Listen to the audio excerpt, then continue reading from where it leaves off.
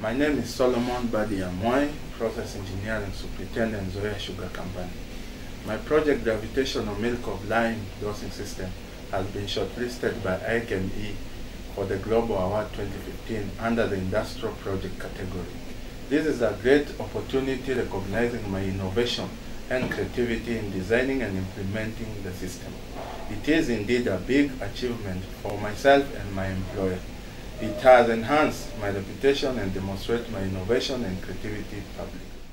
Uh, My name is Gabriel Stuma, head of production of the sugar company.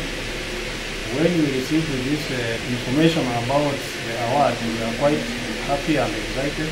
At the moment, our business is quite competitive and uh, we encourage our staff and all stakeholders to embrace creativity and innovativeness so that we are able to, to cope with the competition by way of maximizing utilization of the resources. Personally, I'm greatly rewarded for my effort.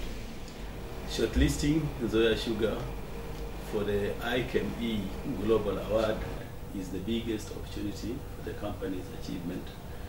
It has strategically put Nzoia Sugar on the track of realizing its vision. I am deeply honored to be part of the IChemE Award 2015 family.